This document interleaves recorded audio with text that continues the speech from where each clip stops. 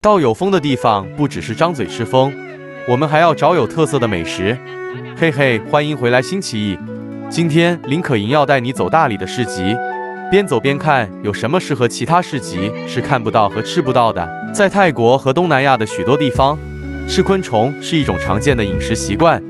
昆虫富含蛋白质、维生素和矿物质，且养殖成本低，因此被认为是一种可持续的食物来源。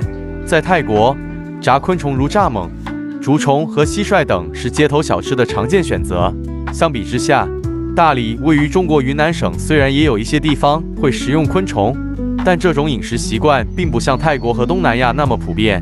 大理的饮食文化更多的受到当地少数民族的影响，特色菜肴包括乳扇、烤乳猪和各种野菜。说到乳扇，它是一种传统的奶制品，主要产自中国云南省大理州的洱源县。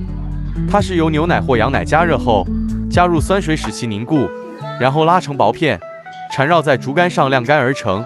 乳扇的形状像折扇，因此得名。乳扇可以生吃、油炸、煎烤，甚至可以凉拌。它不仅是当地人喜爱的美食，还常用于烹调各种菜肴，如加沙乳扇、炸卷筒乳扇等。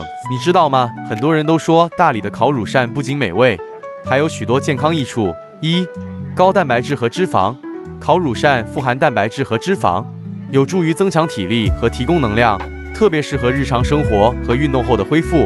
二、丰富的钙，乳扇中的钙含量较高，有助于增强骨骼密度和硬度，预防骨质疏松。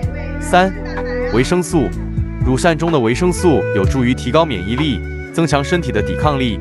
预防感冒和其他疾病，烤乳扇的制作方法也很简单，只需将乳扇放在火炭上小火慢烤。可能我吃不惯，它的嚼劲真的有牙齿也难撕开它。但喜欢奶味和玫瑰的你应该会喜欢它，是不错的甜品之一。哦，这样。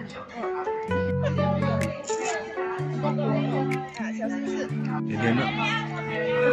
这是鱼。